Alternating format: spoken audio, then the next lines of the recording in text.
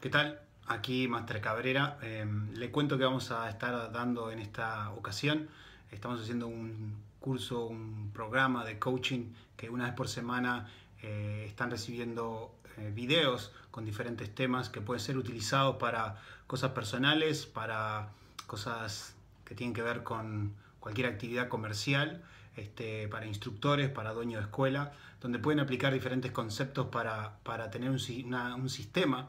En realidad todos tenemos un sistema porque básicamente los que hacemos algo de forma sistemática toda la semana, todos los meses, todos los años, eh, termina siendo un sistema. Todos tenemos uno.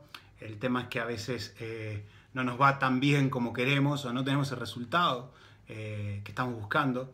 Entonces, al margen que todos tengamos un sistema, podemos pensar en si hay una forma mejor de hacer las cosas y por supuesto cuáles son las motivaciones para hacer esas cosas de una forma más efectiva o una forma que me, que me guste más o que el resultado en realidad me guste más. Este, entonces, bueno, nos vamos a estar comunicando una vez por semana a través de esta vía, a través de videos, este, donde vamos a estar hablando de esos temas y pueden enviarme cualquier tipo de preguntas que surja este, y lo charlamos de forma más personal, uno a uno. Eh, empecemos con estos tres conceptos. Este, primero es eh, anticipación versus reacción. ¿Cuáles son las ventajas de anticiparse? Y anticiparse en, diferentes vías. Anticiparse en, cómo va a ser mi acondicionamiento físico durante el año, mi estado físico de entrenamiento, de salud, de dietas, de ejercicio, no de dietas de recortar comida, sino de la forma que me alimento, eh, si me ejercito o no y con la asiduidad que me ejercito durante el año. En el caso de los que competimos, si me preparo para una competencia, si planifico eso, si me anticipo a lo que vendrá. Este, también es aplicable a la parte de finanzas, es aplicable a nuestro tiempo libre. Eh, si realmente cuando tengo tiempo libre a veces hago lo que quiero, o por no planificarlo de repente se me van el día, la semana, los fines de semana y no tengo este, nada planeado. Entonces, la anticipación versus la reacción. Cuando estoy en modo reactivo, a veces estoy como un bombero apagando incendios, un incendio que sale acá, cuando termino este, me voy corriendo a otro que ya se inició allá. Cuando eh, tengo cierta planificación, cierta anticipación, no quiere decir que no salgan esos fuegos por diferentes lugares, nada más que ya previne las soluciones este, de antemano y de alguna forma ya tengo la respuesta cuando esos tipos de cosas pasen. Eh, en, casi todos lados cuando vemos que algo anda bien es porque hay un plan de fondo. Este, hay algunas personas que son este, que no les gusta mucho porque piensan que las fórmulas no son buenas, que no siempre funcionan. Y bueno, y en realidad en cosas específicas no creo que nadie querramos que eh, no haya una fórmula a la hora que nos tienen que operar o a la hora que tienen que construir un puente. Queremos que haya una fórmula que sea seguro. Entonces, si para esas cosas que son importantes este, nos interesa que haya un plan, una anticipación, ¿por qué no para nuestras cosas diarias también? Este, la anticipación la puedo usar de la siguiente manera. Por ejemplo, planificar, como les decía hoy, el entrenamiento que voy a tener, el tipo de comida que voy a tener, el tipo de entrenamiento en, negocios, mi carrera, como quiero, las cosas que quiero aprender este año. Eh, salvo que esté cerrado a que no vaya a aprender nada, ni a meterme en ningún curso, ni crecer en ningún aspecto, pero también puedo planificar lo que quiero aprender este, en las cosas que me quiero superar. Eh, puedo planificar el tiempo que voy a estar con mi familia, este, puedo planificar el tiempo que voy a dedicarle al trabajo, el tiempo que voy a dedicarle a la recreación. Todo eso de alguna forma es tener en mente que el concepto anticipación en vez de reacción, ser proactivo en vez de ser reactivo. El segundo concepto es eh, qué es lo que quiero versus qué es lo que tengo que hacer. Eh, normalmente tenemos esa idea de que tenemos un montón de cosas para hacer y algo que hace años este, se viene incentivando y que es muy bueno es capturar todas esas ideas de lo que quiero y lo que tengo para hacer y escribirlas en algún lugar, en una agenda, en un teléfono inteligente ahora, en algún lugar para sacármelo de la cabeza. Y está muy bien eso para que no me ocupe este, esos mega RAM de, memoria, este, sino tener la cabeza libre y poderlo capturar en algún lado. Pero después lo que pasa es que hay una lista tan grande desde las cosas familiares que tengo que hacer, ir con mi hijo, con mi esposa, con mi esposo, en algunos casos, este, con mi madre, con mi hermano, hacer esto, hacer lo otro, cosas personales, cosas familiares, perdón, después cosas personales, tengo que ir al gimnasio, tengo que entrenar, este, tengo que tener una dieta así WhatsApp, tengo que comprar tal cosa, este, para el trabajo debo hacer esto, debo hacer lo otro. Y cuando termina eh, la semana, el mes y o el año, miro esas listas de cosas para hacer y resulta que en muchas ocasiones no hice ni, ni la mitad de lo que había escrito. Este, entonces pegarle una pequeña vuelta de tuerca a eso que es no las cosas que tengo para hacer, sino las cosas que quiero hacer. Primero ponerlas en grupo. Todo lo que es mi madre, mi, mi hermano, mi hijo, mi familia, es la familia. Cosas este, de trabajo, cosas personales. Este, y cuando quiero acordar, de repente tengo tres o cuatro grupos nomás de cosas. Familiares, este, de trabajo, cosas personales, amistades. Este, entonces las 100 cosas que parecían 100 cosas se transforman en cosas que están dentro de grupos. Este, y, cuando veo por qué tengo todas estas cosas con mi familia para hacer y cuando veo eh, lo que quiero, no lo que tengo para hacer, es porque quiero compartir tiempo de calidad con mi familia, eh, quiero, quiero estar con ellos. Entonces no es lo que tengo que hacer, sino es lo que quiero hacer. Y es una perspectiva muy diferente ver todo lo que tengo para hacer que todo lo que quiero para hacer. Cuando son cosas que quiero hacer, la motivación y el empuje es completamente diferente. De hecho, no me tengo que estar empujando, porque no es algo que tengo, sino es algo que quiero hacer. Eh, comer mejor, ejercitarme, no es algo que tengo que hacer, no es algo que quiero. ¿Por qué? Porque quiero estar más saludable, quiero compartirme tiempo de calidad con, mi familia, en donde estoy sano, este, quiero lucir de determinada manera. Entonces no es que tengo que comer o tengo que ejercitarme, sino que, lo que es lo que quiero hacer. Ese es el punto número dos, que es lo que quiero hacer versus lo que tengo que hacer. Y tener un enfoque más apuntado hacia lo que quiero hacer, no tanto hacia lo que tengo. Este, y el tercero es dominar dos ciencias, que es una es la ciencia de alcanzar las metas. Hay una ciencia para eso, es la visión que, que quiero lograr, qué es lo que quiero lograr, tener claridad en lo que quiero lograr. lo que quiero lograr puede ser algo familiar, puede ser una meta personal, puede ser una meta profesional, este, puede ser algo físico, es algo que quiero lograr. Luego es la planificación. Este, y tercero es ponerle acción, acciones masivas, este, acciones contundentes para que eso pase.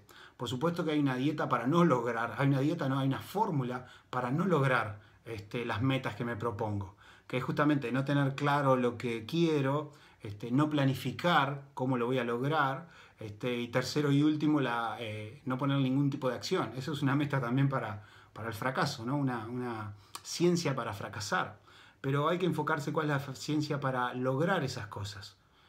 Eh, tener una visión clara de lo que quiero, este, planificar. Hay mucha gente que ya caminó el camino que yo quiero caminar, por ende tengo que aprender de esas personas que están adelante, tengo que innovar también, este, y después ponerle acción, eh, apuntadas dirigidas a eso que quiero lograr.